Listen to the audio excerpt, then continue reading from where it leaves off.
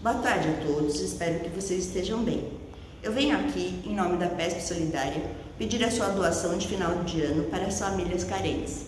Lembro que desde março de 2020 nós conseguimos arrecadar quase 300 mil reais para as famílias do interior, capital e litoral. Conto com a sua doação. Feliz Natal para todos e um próspero Ano Novo. Muito obrigada.